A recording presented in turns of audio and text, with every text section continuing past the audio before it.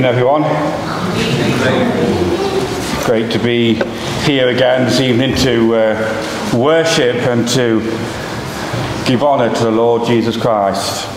We're going to continue in 1 Samuel. Um, we're going to read, first of all, from 1 Samuel chapter 4 and verses 12 through to 22. So 1 Samuel chapter 4, beginning to read at verse 12, the death of Eli.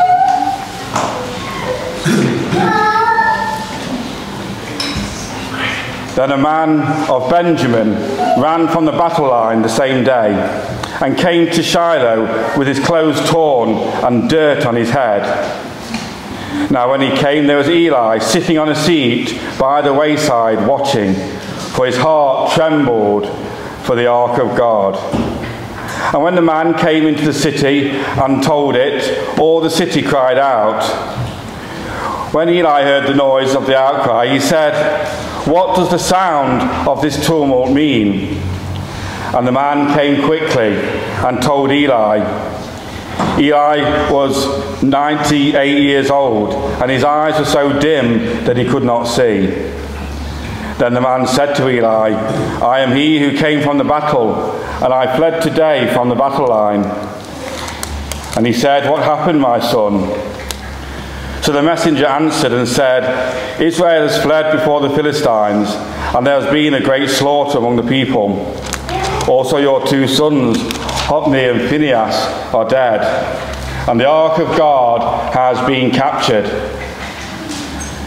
Then it happened, when he made mention of the ark of God, that Eli fell off the seat backward by the side of the gate, and his neck was broken, and he died. For the man was old and heavy, and he had judged Israel forty years. Now, when his daughter in law, Phinehas' wife, was with child, due to be delivered, and when she heard the news that the ark of God was captured, and that her father in law and her husband were dead, she bowed herself and gave birth, for her labour pains came upon her. And about the time of her death, the woman stood, the woman who stood by her said to her, Do not fear, for you have borne a son. But she did not answer, nor did she regard it. Then she named the child Ichabod, saying, The glory has departed from Israel. Because the ark of God has been captured, and because of her father in law and her husband. And she said, The glory has departed from Israel, for the ark of God has been captured. Amen. What's saying, Tom? That better? Did you hear that? Hopefully you heard that.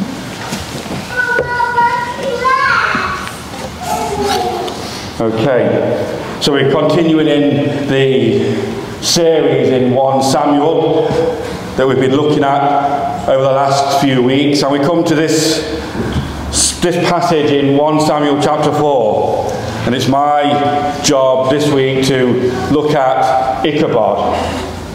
The glory has departed. So this week we come to one of the sad events in, hist- in Israel's history. We are here introduced to Ichabod, meaning the glory has departed. I was thinking as I was preparing this and thinking about looking at this name Ichabod and what it means, I was trying to think about have I heard anybody before speak on Ichabod? And I don't remember a sermon on Ichabod. I'm sure there has, but I can't remember one. But I remember a time when I was in a church in a prayer meeting, and a man stood up and said, This is an Ichabod church. And as you can imagine, the whole church was silent.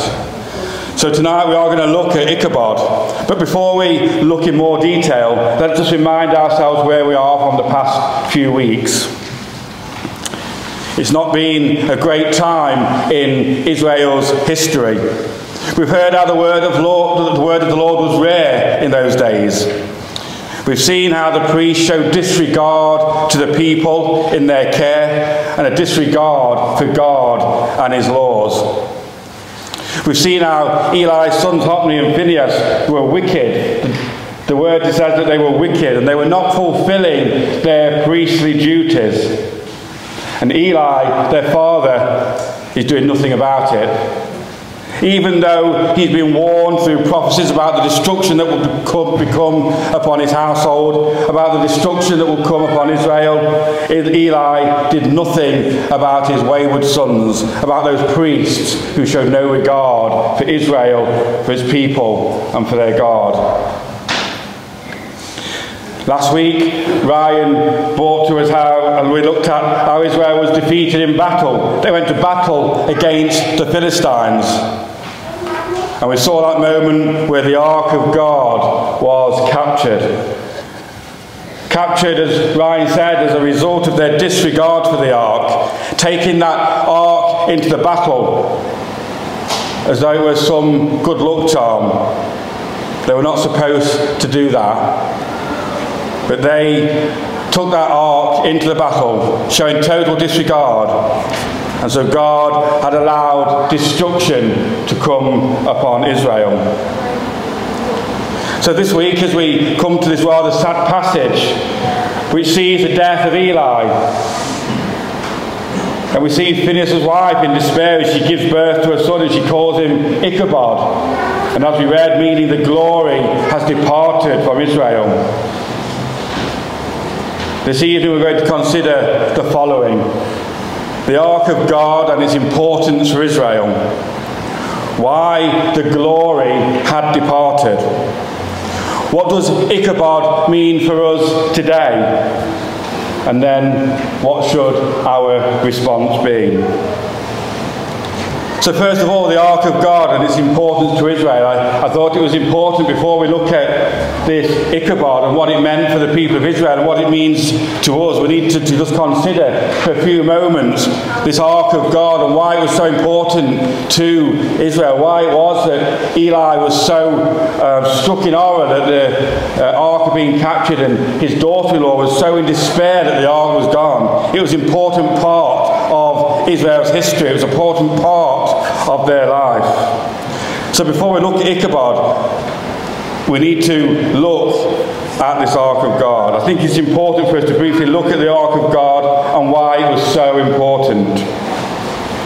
If we didn't look anywhere else in Scripture, we can tell its importance from 1 Samuel alone. As the whole of chapter 4 and some of beyond talks about the Ark of God, chapter 4 is pretty much dedicated to the Ark of God. In verse 13, Eli is waiting for the news of the battle. And we read these words. He says, There was Eli, sitting on a seat by the wayside, watching, for his heart trembled for the ark of God. This tells us the importance of the ark to the people of Israel. For Eli, although previously he'd shown disregard for the ark and disregard for the Lord, as he had honoured his sons over honouring the Lord, he now sits trembling as he knows and realises the importance of the ark of God to his people. We first see mention of the ark in Exodus 25 when God says to Moses in verse 8, And let them make me a sanctuary that I may dwell among them. The God of heaven and earth, all knowing, all wise, the omnipresent God, chooses for the sake of his people that an ark be constructed so that he would be amongst his people.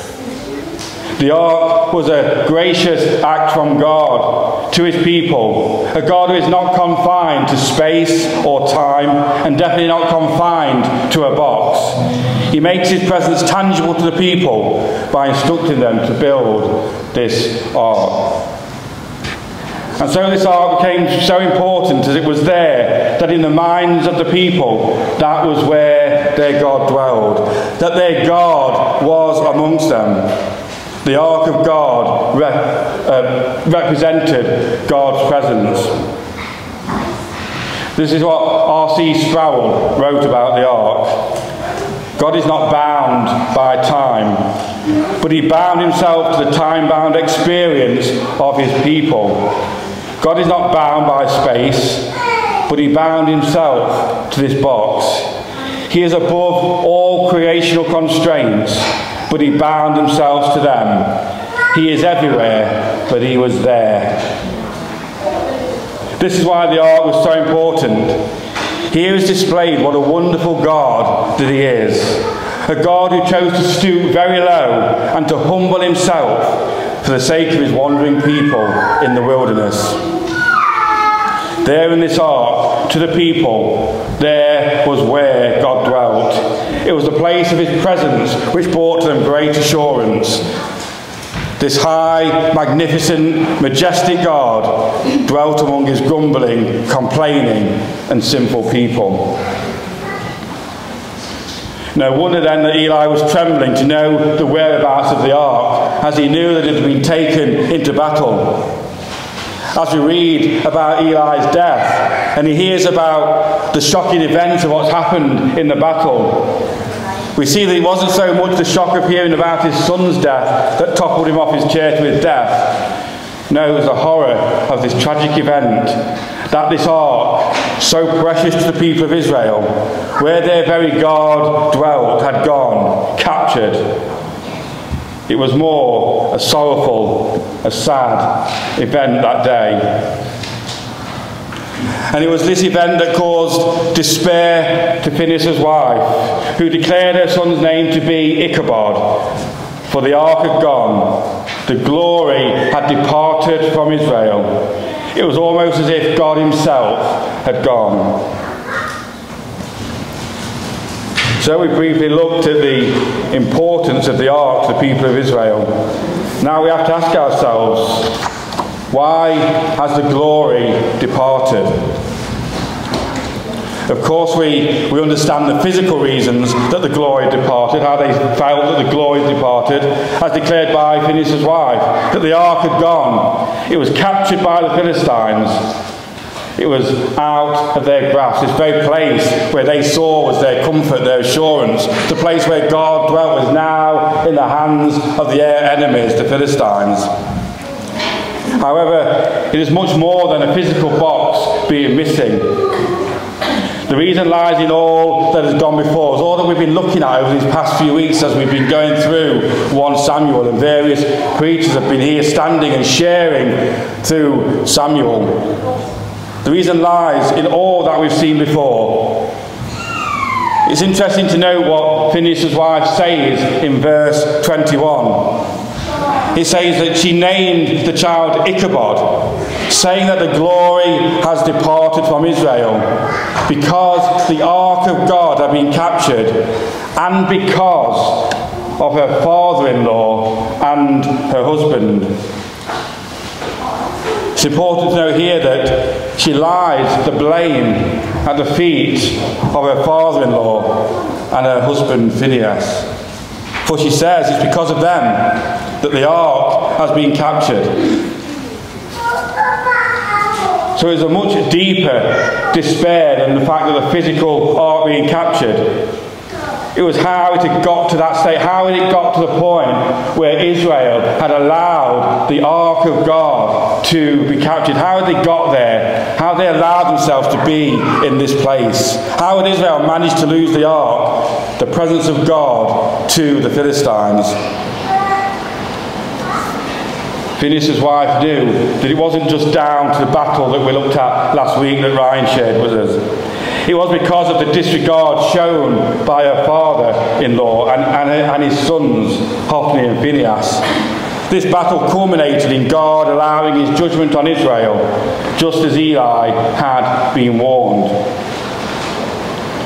From the start of 1 Samuel, we've seen the growing picture of the disregard for not only of God's people, but for God himself. The priests themselves, Eli, sons Hophni and Phinehas, they had no regard for the Lord and no regard for his laws at all. In chapter 2, we saw how they were described as wicked and did not know the Lord. They took of the offering before they were supposed to, not waiting for the meat to be roasted as commanded by the law. They served themselves only and had no regard for the people and no regard for the Lord. We see too how Eli disregards the Lord by honouring his sons over the Lord. Eli is warned more than once in prophecy about his wicked sons, but he does nothing about it.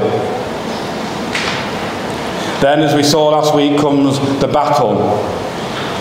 Here we see a total disregard by the sons of Eli and the people of Israel.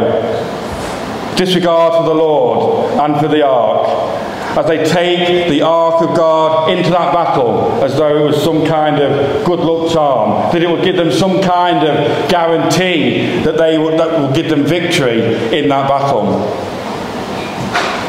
Also, let us remember that the two tablets of stone containing the Ten Commandments, they were in the ark, God's law, God's words to his people. They were all massively important to the people of Israel, and their disregard to this was an abomination. John MacArthur says this The ark symbolised the presence and power of the Lord, yet Israel treated it like a good luck charm which would ensure victory over the Philistines. They confused the symbol of his presence with his actual presence showing that their understanding of God was no different to that of the Philistines.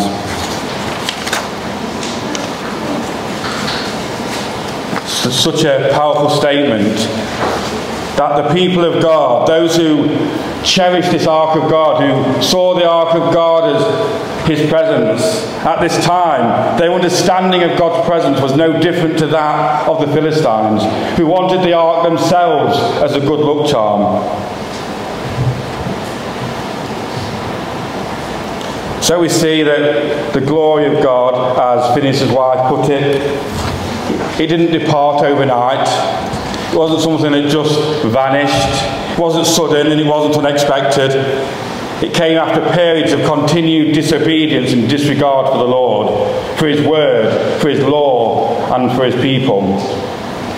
And as already mentioned earlier, God warned them about this coming destruction, but they still did nothing. Israel as a nation had abandoned itself.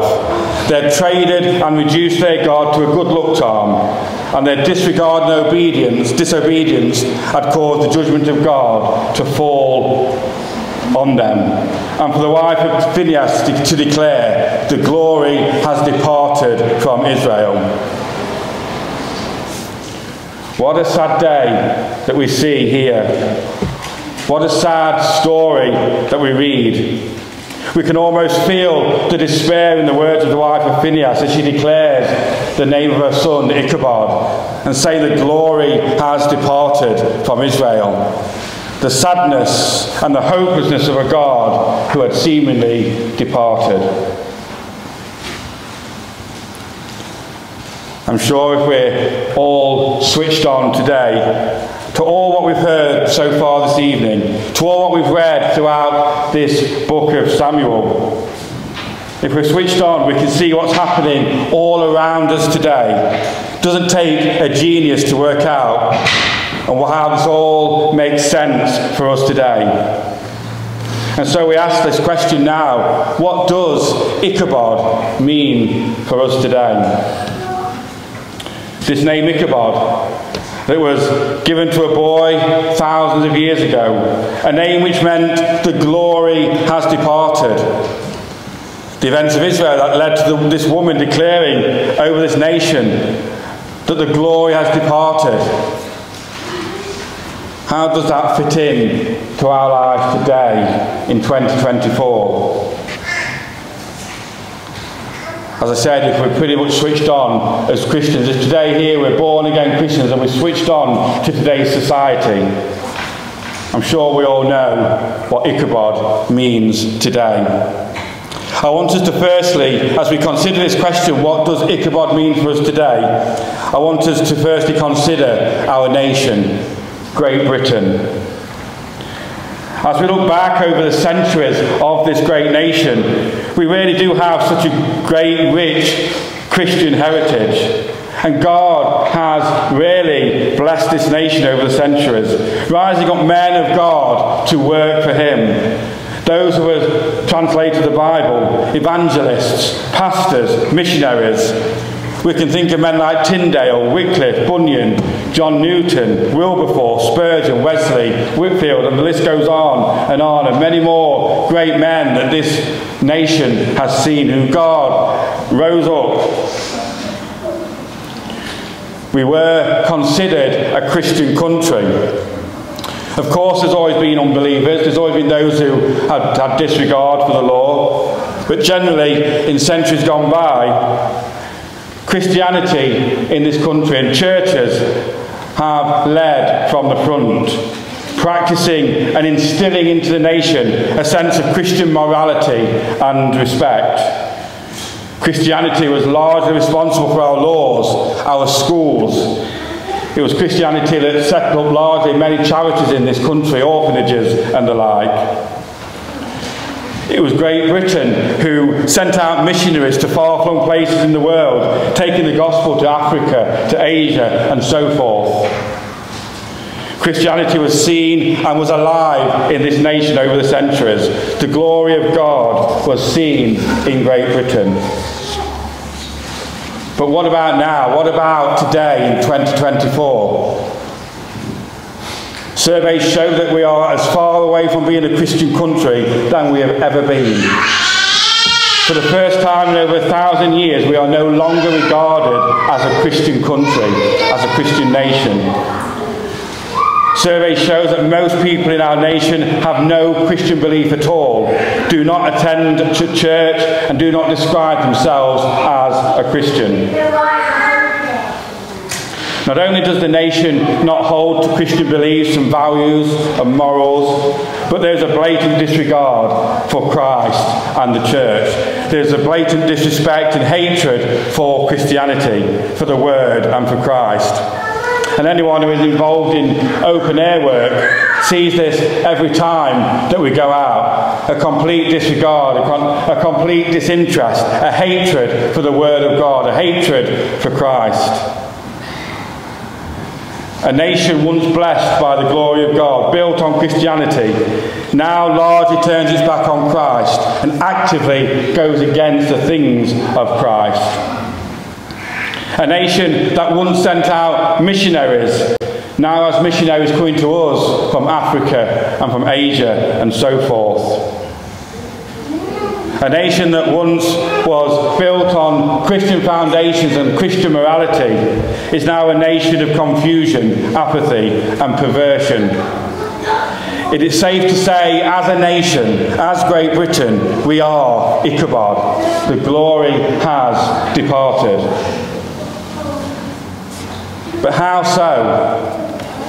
How does a nation once built on Christianity become so against it? Have such a hatred for the Christ in which we serve? How, we, how have we arrived here? As with the nation of Israel that we looked at, it hasn't happened overnight. Somehow we have found that this great nation of Great Britain lies desolate. Phineas' wife didn't just declare that the ark was captured, she laid the blame at Eli and Phineas' feet. It was because of them. How so today? Wherein lies the blame for the state of our nation? If we look back over the centuries, it was the church that was at the forefront, actively involved in the life of Great Britain. The church preached the gospel. The church believed the gospel. The church sought to live out the gospel, honouring the Lord and his word. Over the course of time, that has declined to such an extent to where we are left with the church today. The visible church the church that the nation sees as church. The church that the nation sees as Christianity is so far removed from the days of the great men of God mentioned earlier, and so far removed from the glory that this nation once seen, that depart, this nation has departed because the, because the glory has departed from the visible church. The visible church is now largely Ichabod. As we have seen over the past few weeks, the disregard and disobedience that the priests of Israel showed towards the Lord and for the ark is very much resembled in the church of our time. And like Israel, it has happened over time. We have the church like Israel. The church has traded and reduced Christ and the Word to a good luck charm, a name to be used when sick, when finances are low, when they need whatever they need, to speak the name of Christ over it, and all will be well. We see a church that has no regard or respect for the word, for Christ or doctrine. A church that wants easy believism and regards those who honour and have a regard for these things as fanatics, as over the top.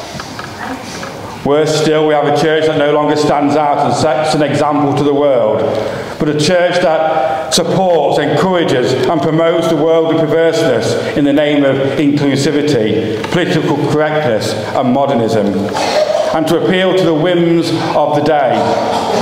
They have chucked out Christ and his word and a disregard for the gospel and for the work and person of Christ. This, friends, is Ichabod. The glory has departed. Not only has it departed, but as with Israel, it is an abomination.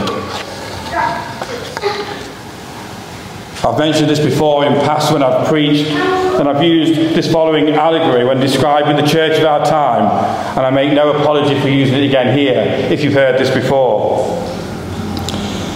When I was at school, I read a book called Animal Farm by George Orwell. Some of you may have read it. And in that story, we see how the animals, the farm animals, were getting so fed up of the humans who were making the decisions, bad decisions, and they were getting fed up with them, and they decided it was time for something better. They had a revolt and they ran the farmers off the land. They would run things, the animals would run things. The farmhouse would be out of bounds, and that represented humanity and all that was bad about humans wrong and greedy.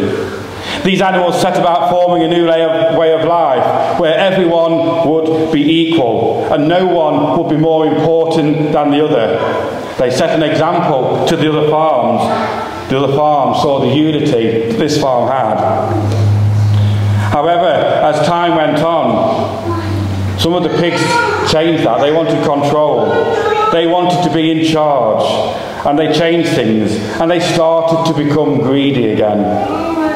They started to become like humans and they were so much against that they were so much against. Slowly they set themselves up as the leaders and they move into the farmhouse. Some neighbouring farmers want to do business with the pigs. They have a meeting in the farmhouse. And in the final scene of the book, in the final lines, it says something like this that the other animals peer through the, door, through the window and they look from man to pig and from pig to man and they're unable to tell them apart. In this day, as we look from church to the world and from the world to the church, sadly, we cannot tell them apart. And so we move to our final question. What should our response be? And sure, like myself, if you're a member here at Watchorn, that we're very privileged to be members here, part of this family of God here in Watchorn. A church led by leaders who are keen to ensure that the Word, that the Gospel remains of central importance a church that preaches truth, a church that protects the pulpit and doesn't bow down to the whims of the day. I'm sure, like me, you're truly blessed to be in such a fellowship. And so, our first response to this should be that we give thanks to the Lord for his blessing and his provision for us as a people. That we should give thanks to our pastor and our leadership. But, friends, we should also not be complacent as the saying goes, there go I, but for the grace of God.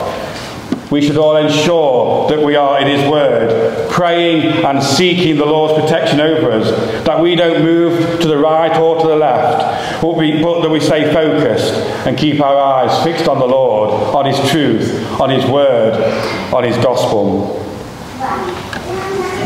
And also our response should be like that of Phinehas' wife.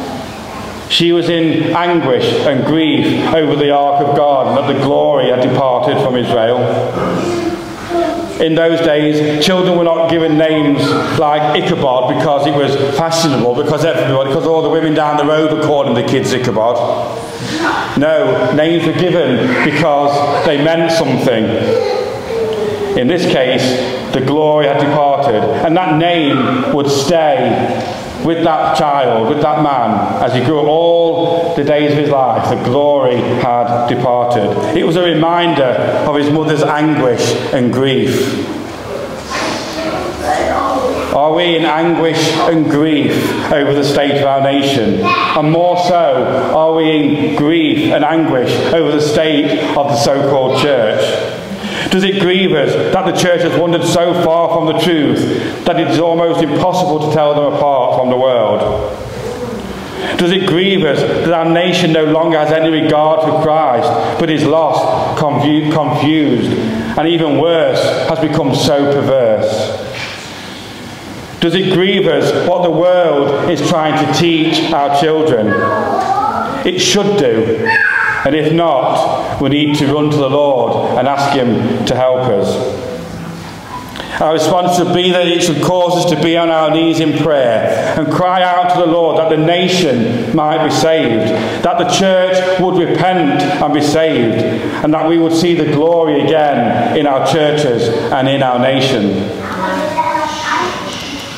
To sum up, I'm going to use a quote which I was a little bit, a quote from the scripture. I was a bit hesitant to use it as it's a quote that over time has been quite misquoted. But I believe it does sum up what our response should be. 2 Chronicles 7 and verse 14. If my people who are called by my name will humble themselves and pray and seek my face and turn from their wicked ways, then I will hear from heaven and will forgive their sin and heal their land. The only way our nation will be healed is if we pray. Is if we humble ourselves and pray for our nation. Pray for the church that it will turn from its wicked ways, that it will turn in repentance, that we would see the church revived, declaring once again the true gospel of Christ, standing once again on the truth of Scripture, declaring that salvation belongs to God, that He is full of grace and mercy and then, by God's mercy, we will start to see a church and a nation healed. So, we've looked briefly tonight at this very sad passage, this very sad time in Israel's history. And we find ourselves as a nation, as a church, in very similar times, very, very sad days. And so, to end, after all, our simple response is this if we are born again of Christ, if we are concerned about the nation, if we're concerned about the so called visible church, our simple response is this as I finish is to humble ourselves and to pray. Amen.